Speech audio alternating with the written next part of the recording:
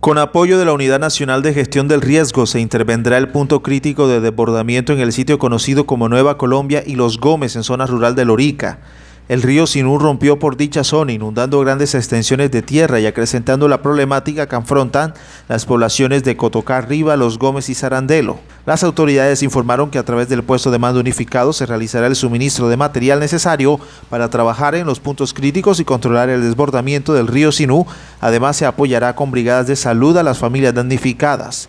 El gobernador de Córdoba, Orlando Benítez, se ofreció para hacer el acompañamiento institucional y logístico y repartir las ayudas humanitarias que enviará la Unidad Nacional de Gestión del Riesgo.